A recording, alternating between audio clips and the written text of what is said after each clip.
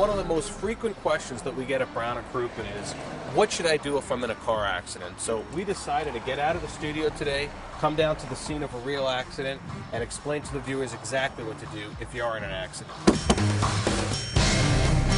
If you're in an accident, your mind's going to be racing with all the things you need to take care of immediately. However, there's one that you want to make sure you take care of first. You look around the car, see if anybody's injured, and don't mess around. If somebody even appears the slightest bit injured, call 911 immediately and get them medical attention.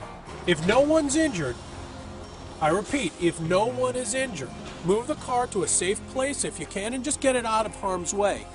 In either event, call the police, make sure they come and do a report to get both sides of the story and get all the vital information from both drivers. Next thing you want to do is exchange information with the other driver.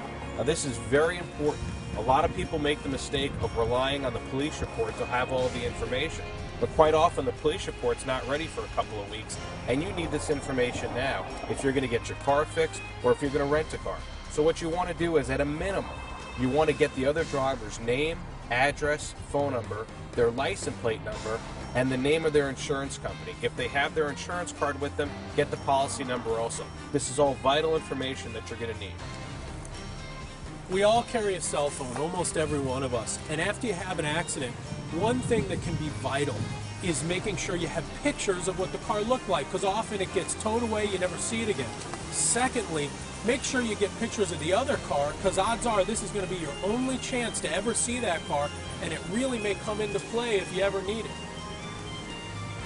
All right, to sum it up, if anybody's hurt, you called an ambulance. You moved the car to a safe place as long as no one's injured.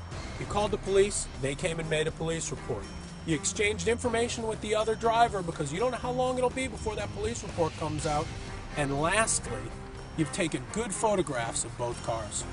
And you know what? It, it's never a pleasant experience being in a car accident, but if you follow these steps, you make the experience run a lot more smoothly. And most importantly, the last step, call a lawyer because it's free to call a lawyer and have a consultation.